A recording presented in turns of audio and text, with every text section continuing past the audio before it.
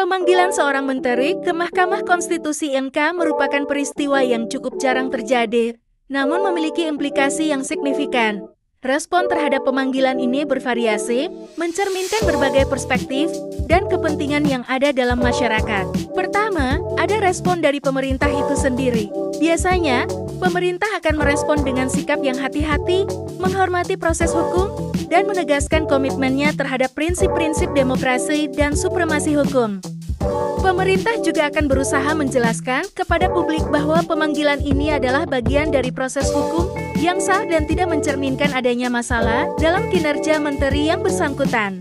Kedua, ada respon dari partai politik oposisi.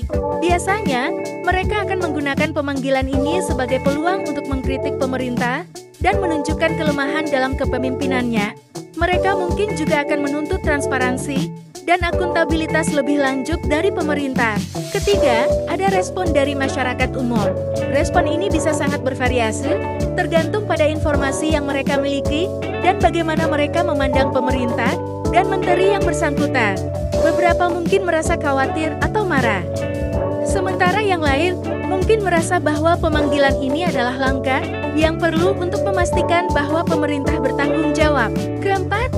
Respon dari media. Media memiliki peran penting dalam membentuk opini publik dan mereka akan melaporkan pemanggilan ini dari berbagai sudut pandang.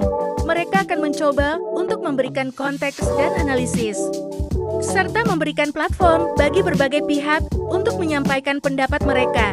Secara keseluruhan, pemanggilan menteri ke MK adalah peristiwa penting yang memicu berbagai respon. Bagaimanapun, yang paling penting adalah bahwa proses hukum dihormati dan semua pihak diberikan kesempatan untuk menyampaikan pandangan mereka.